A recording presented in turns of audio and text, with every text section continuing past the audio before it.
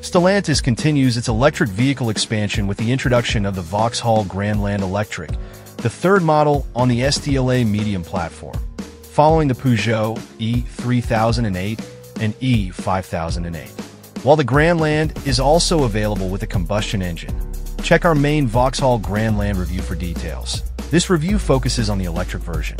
The Grandland Electric features the same 73 kilowatt hours nickel manganese cobalt NMC battery as the E3008, paired with a 207 brake horsepower front-wheel drive electric motor, offering a WLTP range of up to 325 miles.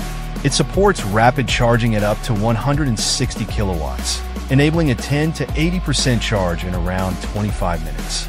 A larger 98 kilowatt hour battery option will be available next year, extending the range to an impressive 435 miles.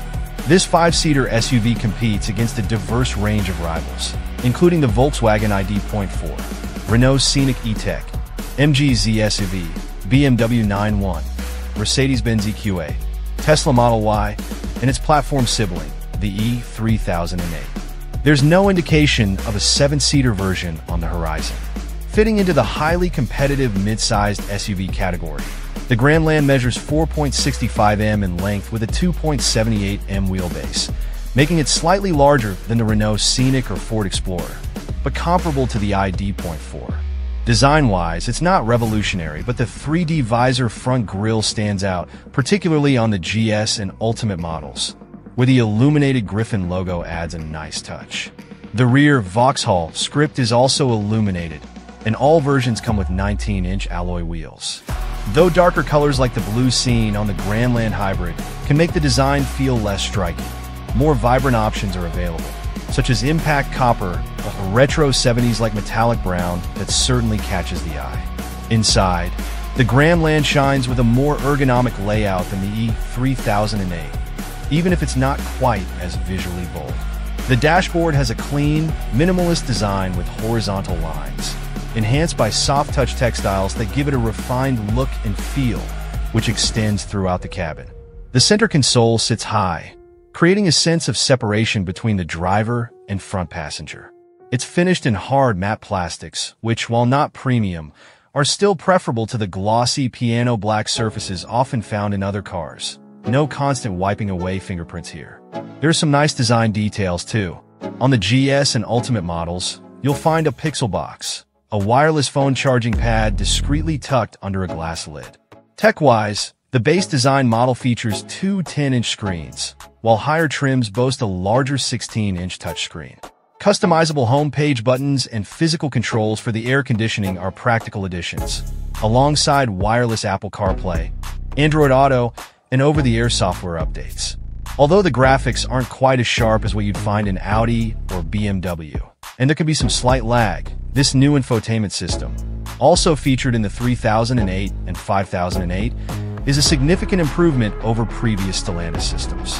For those who want it, a head-up display is also available. The seats are impressively comfortable and upholstered in 100% recycled materials. Even the manually adjusted seats in lower trims offer adjustable thigh and lumbar support, though it would be nice if they could be lowered a bit more. Space is generous, both in the front and rear. Backseat passengers enjoy ample legroom, solid headroom, a center armrest, and two USB-C charging ports, making it a practical and comfortable space for all. The boot is a very good size.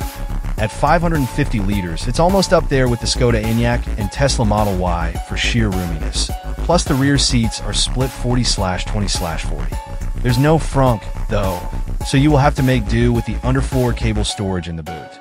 The Grandland Electric has a single 207 brake horsepower electric motor powering its front wheels, making it good for 0 to 62 miles per hour in 9.0 seconds. The bigger battery model coming in 2025 will offer more power and four-wheel drive. That's fairly sedate by the standard of this class. And while the Grandland Electric doesn't feel underpowered when it's only carrying a couple of people, we have a suspicion that it could feel strained when full of people and stuff, or if you decide to utilize the 1,200 kilograms towing limit. Still, as long as you avoid eco driving mode, which really neuters the accelerator pedal's response. It feels just fine to breeze along in at lower speeds. It's all perfectly easy to modulate and judge, not to mention pleasantly refined. There are three regenerative braking modes to choose from, none of which is quite heavy enough for one-pedal driving, but you can toggle through them via the steering wheel paddles, which is useful and straightforward. Hyundai's and Kia's regen system is still more flexible, but the Grandland's is intuitive and doesn't feel grabby, which is all that most will need or want. There's no official word on bidirectional or vehicle-to-load charging from Vauxhall yet, but other Stellantis brands have said that those things will be coming, so watch this space. Otherwise, charging speeds are up to 160 kilowatts for 10 to 80% charge in 26 minutes, and you get a heat pump as standard to help with winter efficiency. As for real-world range, we managed 3.4 mpkWh on our test drive in northern Denmark, which suggests around 250 miles should be achievable in varied summer running. The Grandland is very fit for purpose when it comes to ride and handling. Nothing more, nothing less. It gets frequency selective damping as standard, and on 20 inches alloy wheels, it keeps the ride reasonably calm. But it's not without a subtle yet constant fidget over scruffy town surfaces. And while that settles down at higher speeds, it's replaced by a more jarring bump absorption over sharper edge potholes and ruts. Don't get us wrong, it's not as if you drive the Grandland down the road thinking, blimey, this is uncomfortable. In fact, it's impressively hushed and softly sprung, so feels rather likably old school in the way it goes down the road. But the finer ride comfort aspects can reveal how hard the suspension is working to keep the Grandland's mass in check and the bigger wheels of our top spec test car don't help matters either. The steering is nicely weighted, a touch heavier than in many rivals, and with a slim rim steering wheel that's pleasant to use. You can make it heavier still with the sport mode, accessible via a physical button on the console, which is always better than a screen menu, but the Grandland just isn't a car that feels like it warrants a sport mode.